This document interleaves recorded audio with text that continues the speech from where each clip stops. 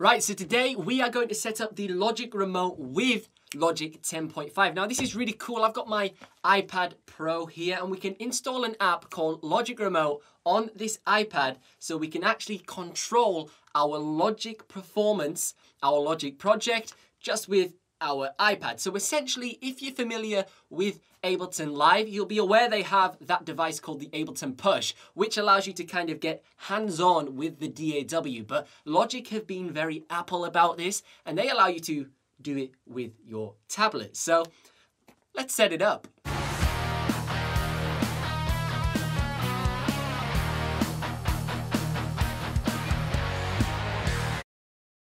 So this is the Logic Remote app. Now what you want to do is you want to make sure that your iPad and your iMac or your MacBook are on the exact same Wi-Fi network. Otherwise, they're not going to be able to connect to each other. Now, you can do this via USB. If, if you haven't got a Wi-Fi connection, you're maybe down or whatever, you can still use this feature. But I'm going to do it across Wi-Fi because it's super easy to set up. So what you're presented with as soon as you open up the app is this menu here, and it just tells you what devices are available on the network to connect to. So we have Ben's MacBook Pro, which is the one behind me here, and we also have Ben's iMac. Now we're going to connect to my iMac today because that's the one that has got the latest version of Logic 10.5 booted in. And we want to try out the Logic Remote so we can do some live looping with it. So simply, we're just going to connect to Ben's iMac. We're just going to select that in the menu. And then it's just going to attempt to connect to it. Now, on your computer, you'll be presented with this option. So it says Ben's iPad wants to connect to Logic Pro X. Now you have the option to say don't connect or connect. Now obviously we want to say connect. So that's what we're going to do. Straight off the bat, we are presented with obviously the mixer. Now, this thing is so intuitive. This is my like first time kind of using the Logic remote since it first came out years ago. Like I haven't really used it that much, but honestly, you can mix around your faders instantly. You can see how that is instantly responding inside of the software. Likewise, I can do a bit of panning.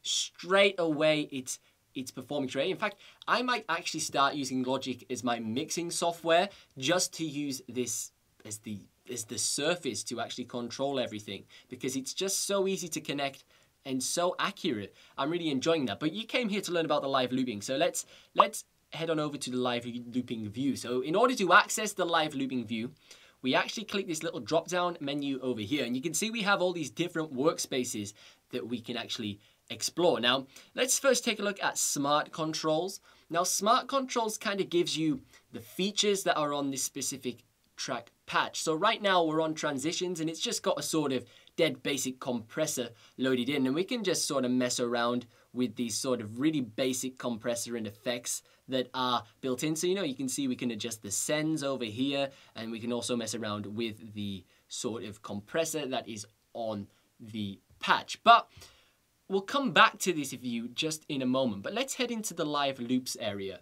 So as you can see with the live loops, it is identical to what is displaying on my iMac. Everything about it is the same. The colors of the clips are identical. Now the way we can scroll down, because obviously there's not as much real estate on my iPad compared to my big iMac. So we'll scroll down, you can see we have all of the clips available to launch. Now it's super intuitive to use. We can literally just click on the clip we want to launch and there we go. We're performing with our Logic Remote. This works exactly like an Ableton Push, but you can just use your iPad that you know you, you just have lying around the house or whatever that you maybe watch like Amazon Prime on or something.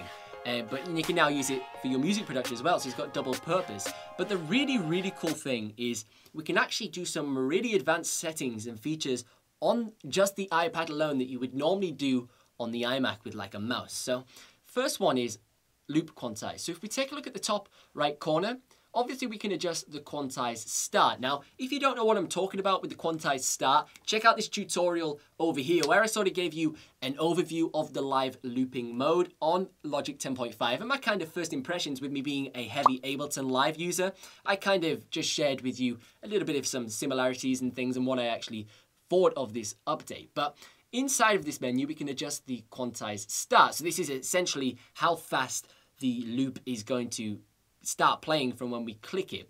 Now we can adjust it inside of this menu here, but also on the iPad, we can click this little sort of square and it presents us with the quantize start menu. Now what you'll notice is when I adjust this to four bars, for example, on the iMac, it instantly adjusts it on the iPad to four bars as well. And likewise, if I switch it back to one, it changes straight away inside of Logic on the computer.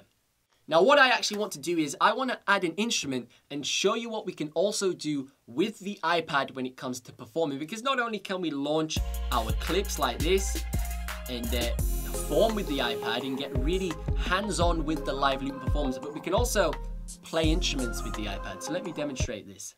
By the way, if you're getting any value from today's video, be sure to give it a thumbs up and also consider subscribing because I do three videos just like this every single week. So if you don't want to miss any of those, also turn that notification bell to on so you don't miss them when I upload them. But let's continue on with the video.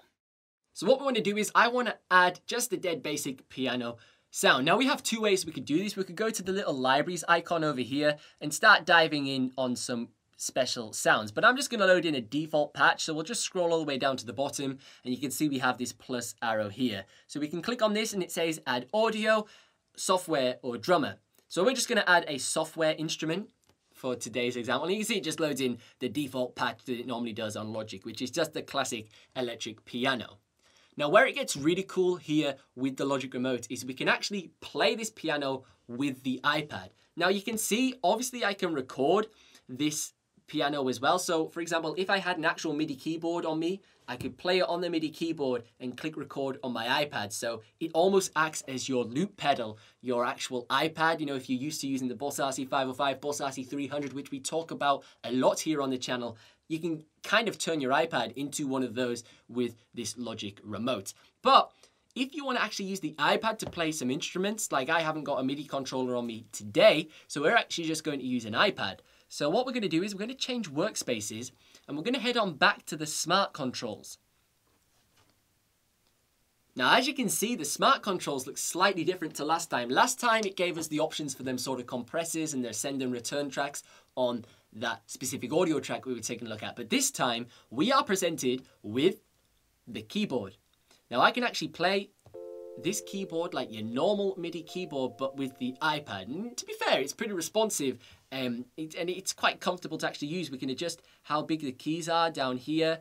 If, you know, you want some wider keys, smaller keys, normal size keys, whatever. Most importantly, Logic have provided us with the little record buttons because, you know, it wouldn't be much use if we could play the keyboard but then we couldn't record the clips. So now we can actually play the chords while looping the clips. So let's head on back to the live looping zone and let's just launch scene one over here. Now I think this piece is in F minor, something like that. I don't know. I was playing around with it earlier, but let's hope we get some right notes. And then we can loop this. So check this out. I'll do something dead simple.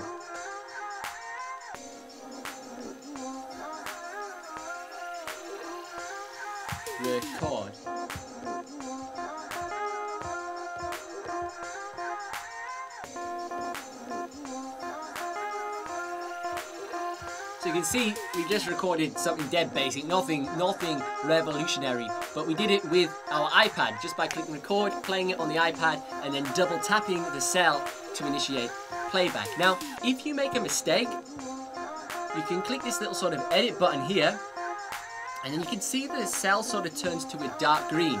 Now we can actually click on this cell, and we're kind of presented with the right click options that you would have inside of Logic. So if I went down to Logic and I right clicked on a cell, you can see we have pretty much similar options to what we have on the iPad. Here we've got playback, edit, etc. So what we're actually going to do is we're just going to delete this. So we can click delete and now we have removed that cell uh, if we'd made any mistakes and we needed to re-record it. Now what I wanted to demonstrate with this overview of the Logic Remote is how it makes your performance so much more enjoyable and intuitive. Gone are the days of, you know, grabbing your mouse and sitting around and clicking, launching clips and then doing this, diving into these menus here. We can actually just grab our iPad, start adjusting parameters inside of the software, and it takes these virtual instruments and it makes them physical in some form of a sense. You know, we can turn the dials up and down like you would on a real instrument that you would have at your fingertips. You can record, playback, stop loops just by clicking the actual cell you want to record into instead of being disrupted by grabbing the mouse and dragging it over to the cell and clicking record. So if you want to learn more about the Logic 10.5 update, be sure to like and subscribe to the channel because we're definitely going to be covering this topic further in the future. So if you don't want to miss those videos, be sure to turn that notification bell to on as well. But if you've got any questions about Logic, let me know in the comment section down below and I will try my best to maybe make a video to answer them. But as always, I've been Ben Rowlands. Thank you so much for watching and I will see you in the next one.